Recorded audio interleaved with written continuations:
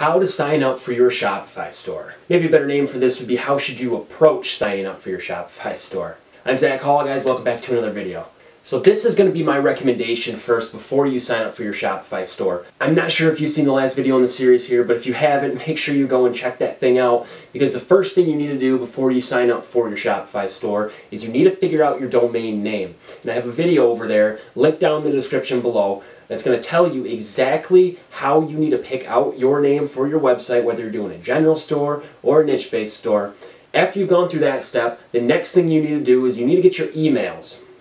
Now your emails don't have to be super fancy with the name and everything, you know, keep it relative to what your store's name is, but they're just going to be forwarding emails. So this is where your emails for your actual store are going to come to, and you're going to need two of them. You're going to need your main email of your store that you're going to sign up for things with, right? And then you're going to need your support email. Support email is where your customer service is going to take place. So people message you having questions, you answer their questions there. Now it's important to make sure that you have those in completely different emails rather than having it in one because once you start to get to a large scale in your store, if you don't have a separate email for your customer service, it's a disaster. Trust me on that.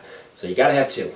And I have a video a little bit later on here that's gonna teach you guys how to set up these forwarding emails. So just for now, go in, create the two emails, and let's go on to the next step. Now for your email, just for example here, if you're selling footballs on your store, right? And your store is just based around football, football specifically, right? You would want to name your store footballstore1 at gmail.com or Yahoo or whatever uh, provider you're using there for your email, right? You get the point. So you have the two emails. You're going to have your support email and your main email. Main email comes first on support. So on your main email, it's going to be named Football Store 1. Your support email is going to be called Football Store 2. Doesn't necessarily have to be like that, guys. You just want to make sure you can differentiate between the two. I have another link in the description down below there that's going to give you guys a free 14-day trial through Shopify, so make sure you check that out. Make sure you click that. And the other videos we're going to be going over further on in the series are going to go way more in depth on the whole setup of Shopify and really actually getting your first sale, scaling to a massive um, level with your store, how to do all the marketing, all the questions you can imagine. I'm going to be answering in the future videos, so make sure you guys stick around to see those. But let me walk you guys through this process here. Let's jump into my computer and I'll show you how you can sign up for Shopify and set everything up the easy way. All right, our first step here is going over to Gmail.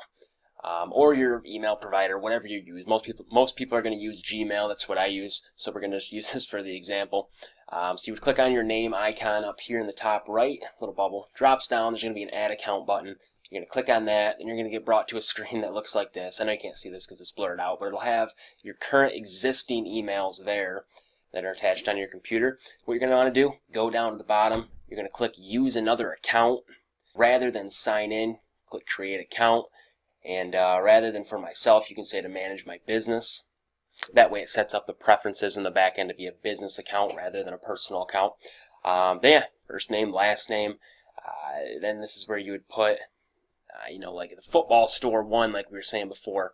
And then you would create this account, and then you would just repeat the process to create the second Gmail account. Then after we're done with this, we head on over to Shopify. Uh, right up here is the start free trial button. You're going to click on that.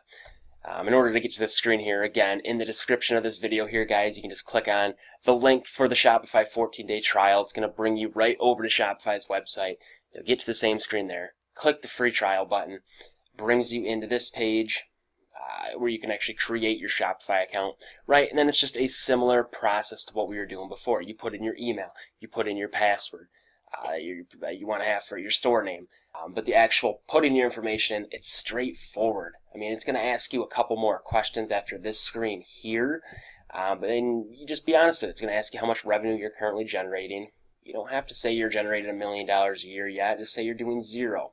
Uh, just fill out the information. Then it's going to bring you into the Shopify admin screen. So yeah, now we're going to dig a little bit deeper into actually setting up the back end of the Shopify store, going through and making sure everything is set up right so that it's like headache free when you actually start generating income and generating sales on your store. We want to make it as headache free as possible.